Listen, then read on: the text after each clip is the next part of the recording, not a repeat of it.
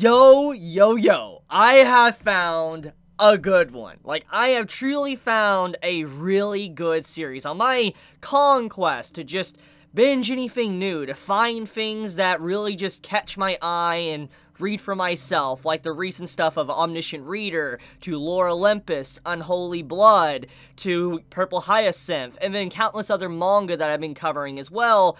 I've been just journeying around trying to find some good things that really just stand out to me. And I eventually wound up reading this series right here, Hero Killer.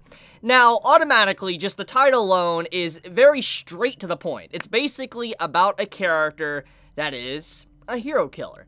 Now, if you have been on my channel for a long time, you know how much I love heroes and villains. I mean, I review My Hero Academia. It's about that entire, you know, theme of heroes versus villains. And so, seeing a series called Hero Killer instantly piqued my, you know, interest. I wanted to see what it actually was about. So, I sat down and I caught up with this series. There's currently only seven chapters out at this time, so it's really quick to catch up. You can catch up with it about maybe 30 minutes or less. It, it's a very quick read, but it's a very enjoyable read with so much potential that I'm excited to see what the writer actually does with the story. So let's uh, let's talk about what is this, and is it something that would actually interest you? So you probably peeked the title.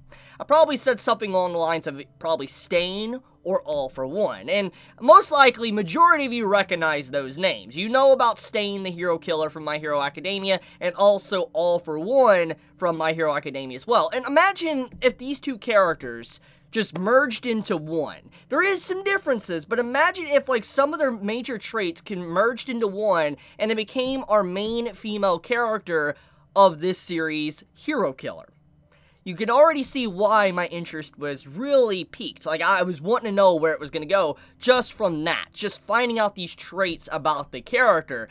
So, let's get into it. Hero Killer is about our main female character that wants to pretty much get rid of all the corrupted and evil heroes because with the way society works within the series, you have it to where heroes can get away with literal murder. There is no real distinction between heroes and villains within the story, very much like My Hero Academia.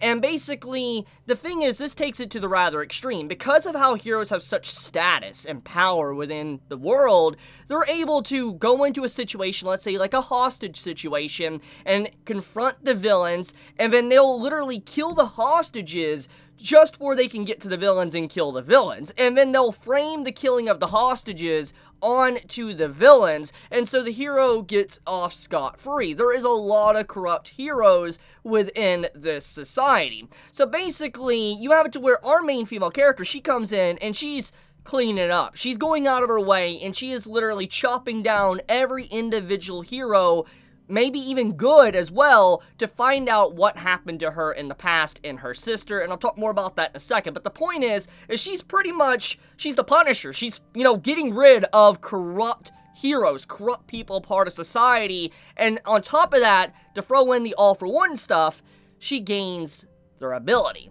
That right there, that's what's really cool. That is something that really stuck, uh, like, stood out to me, and I was like, oh my goodness, this is gonna be really cool. So she literally is able to steal the abilities of any person she comes in contact with, either be hero or villain, and she is able to actually fully harness that ability. Now, it hasn't been fully explained on exactly how it completely works. The only thing we truly know at this point is, is that she apparently can use this ability probably for a long period of time afterwards, like if she, let's say, gains a lightning type power from like the hero she first encountered in the first chapter, as she gets that power from him, she can have it many, many days afterwards after he's long deceased. So basically, she doesn't need to worry about keeping, let's say, a hero or a villain alive if she wants to hold on to that power. However, we do know that there is some form of stipulation, like a weakness to her ability, to where she's only able to maintain it for a limited amount of time. We see a, like a clock, like a watch, that she holds at the end of chapter 7, which basically shows that she's only only to, able to maintain her power for about 7 minutes. And she says every time that she steals an ability, her power actually gets a lot stronger. So you're already seeing where there's a cycle of interesting things going on here. You have it to where she's literally hunting down bad heroes, but on top of that, she is stealing these powers from the heroes, and she is growing her power and getting so much stronger she's able to maintain it at a longer rate. So just like all around, it you can see why I'm interested. This is a really cool freaking series, and I I, I really am so hyped up I found this so early on. I cannot wait to see how this series progresses and grows from chapter 7 onwards because it's just, it's so early into the story. I, I'm getting pumped up just thinking about it. But okay, so uh, let's get into the actual story about her past. Our main female character's past, to kind of one of her main motivations to be like she is.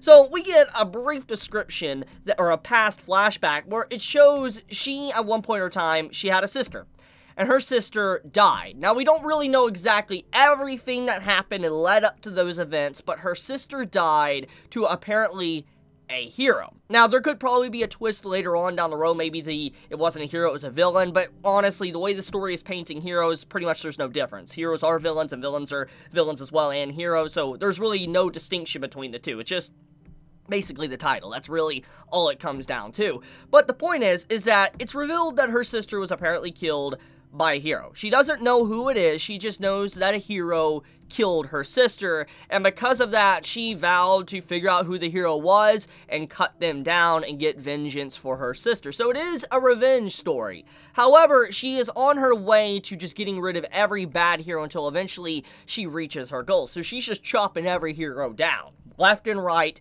just to obtain her goal. And so I am looking forward to seeing where her journey takes her because she's pretty much a villain, honestly. Because I, I feel like she's going to come to the point to where she's going to chop down so many heroes, she's going to lose herself. She's going to lose her sense of, you know, like morals, like where she won't understand the weight of life is easy anymore because she's just getting rid of people left and right. And I feel like eventually she's probably going to come in contact with maybe a really good person and she's going to chop them down as well. Or she's going to come into a situation that is very similar to what the heroes have been doing and framing villains for all these bad acts, even though they're the ones getting rid of hostages hostages, etc. I feel like that's where the story is kind of leading towards, because that is definitely the picture it's painting, is that there is no difference between the two, and is our main female character, the hero killer, is she really that different? She's just on a conquest, a uh, revenge to get rid of heroes in her way. So, I Gotta say, this series has a lot going for it. It does, and I mean, if you are heavily interested, like I said, in My Hero Academia,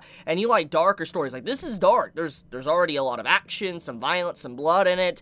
If you if you love darker stories and you always wish like, like My Hero Academia could be darker, this is for you. Hero Killer is definitely for you, because I know a lot of you guys that watch me love this type of stuff, love heroes and villains here you go. I'm, I'm offered a full recommendation to it. It's really, it's enjoyable. Anyways, a few things I do want to talk about before I kind of wrap up the video is that the artwork and the color palette in general is very beautiful. I really love the backgrounds, especially some of the scenes I'm probably showing right now with how she's like looking out to the sky. I just, I love the way the colors are done and the way they merge with the character with the red and black and they have this other hues in the background that with it. The the art is really impressive and i already see from the first chapter to the seventh chapter there's already been a lot of improvement with the artwork and i cannot wait to see once again where it winds up maybe 20 30 chapters down the road. Because it's kind of like looking at tower of god. If you've ever you know read tower of god which i'm assuming a lot of you have it's a really good series. You know tower of god when you look at its like first chapters it doesn't look at all the same to its current stuff going on right now with the chapter that released, you know, like last week. So, just like when you think about it, it's like I I love seeing the growth of artist and a writer as a story progresses. I think that's one of the reasons why I'm so drawn to stuff like this, like, you know, manga and webtoons in general, because of just how you could see the growth over the course of years of writing. So anyways, if you guys are interested in the series, I'll have it linked in the description and also in the comments below if you want to check it out for yourself. It's right there. It's free to read. The first seven chapters are completely free to read and it's legal. So do not worry. You can check it out for yourself like I said in the description. And on top of that, if you're interested in buying any merch for, let's say, from Webtoon, I'll also have that linked in the description as well. And I also have a discount code for 15% off, Chibi15, in the description as well, which you could copy and paste as a redeem code when you go to the checkout store for the merchandise on the Webtoon store. So, just FYI, if you're interested in that, go check it out. It helps me out a lot as well. If you click on it and all that and read the series, helps me out, just keeping it transparent with all of you. But anyways, guys, you be safe. You have a wonderful day or night wherever you live. Thank you so much for watching this video. And with that, guys, Chibi out.